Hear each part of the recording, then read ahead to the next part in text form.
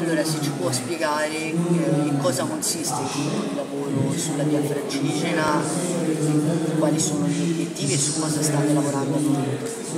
Sì, il gruppo di lavoro è stato istituito nel 2008 e comprende, è partito con, eh, in seno alla direzione cultura e poi ha via via integrato al suo interno eh, persone che lavorano all'interno dei lavori pubblici, eh, dei trasporti, eh, piano piano anche del turismo. Eh, quindi stiamo arrivando proprio ad un gruppo integrato. Siamo partiti dalla cultura nel senso che eh,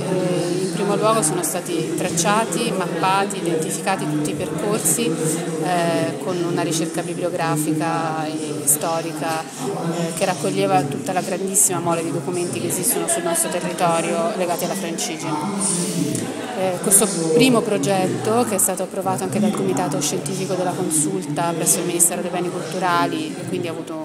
un ottimo riscontro in questo senso, è servito anche per eh, individuare effettivamente un, un percorso fisico eh, sul quale eh, promuovere diciamo, un, effettivo, un vero e proprio percorso pedonale fruibile. In questo senso eh, abbiamo innanzitutto individuato i tratti che potevano essere eh, pericolosi e li abbiamo, laddove era possibile, eh, corretti passando dal patrimonio di strade bianche che esiste nel nostro territorio. Quindi,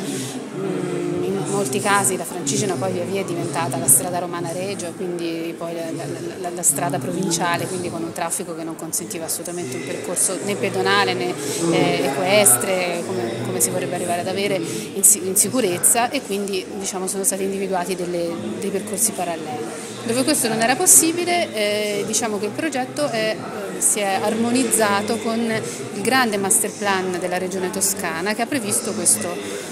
cospicuo aiuto su questo tipo di interventi, quindi la, la provincia ha partecipato con le proposte di messa in sicurezza di questi tratti eh, di strade a percorrenza veicolare con i relativi attraversamenti e su questo è stato fatto questo grandissimo lavoro da parte appunto del dei tecnici del Servizio Lavori Pubblici della provincia che hanno fornito eh, delle indicazioni anche progettuali che possono diventare veramente un modello anche per questi interventi nel resto della Francigena che sappiamo che parte da, in, Italia dalla Valle d'Aosta e termina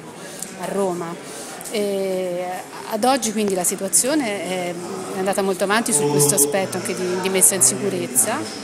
e, mm, ma prosegue anche con, eh, tornando all'origine con eh, la valorizzazione culturale, nel senso che eh, è stato istituito presso il Ministero anche il tavolo di coordinamento di cui la provincia fa parte